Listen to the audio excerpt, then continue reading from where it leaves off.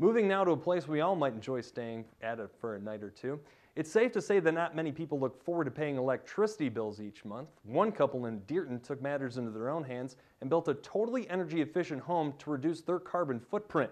Not only are they living solely off the energy they produce, they're also producing enough to share it. Danielle Davis took a ride out to their greenhouse to see how the creative couple is able to live net zero.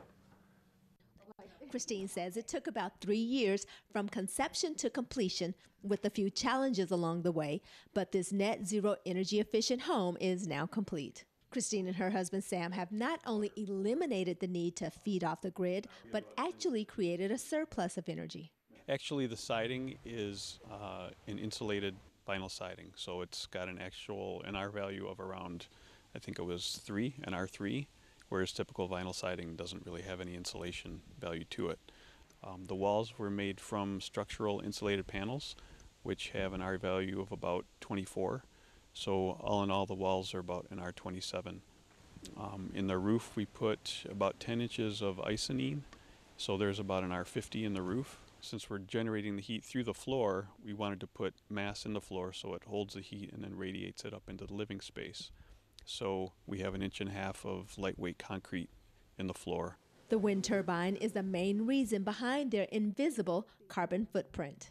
It produces 12.5 kilowatts of energy, so when it's really windy, it can actually produce more than they need. The house itself was designed with strategically placed windows and doors to make use of as much natural light as possible. Other power saving techniques include a front loading washer, about a third of the water because you don't have to fill the entire. an energy efficient refrigerator and light bulbs, So when you press down, it's a half flush, and a low pressure flushing toilet. and when you pull up, it's a full flush. But being independent of any energy needs forces Christine and Sam to think ahead and prepare for potential emergencies.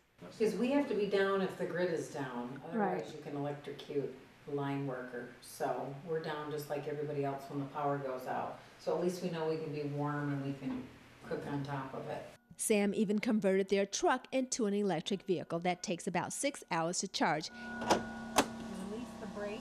giving them 70 miles to use at their disposal.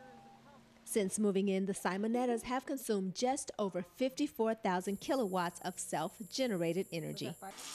In Deerton for ABC 10 and CW5 News Now, I'm Danielle Davis.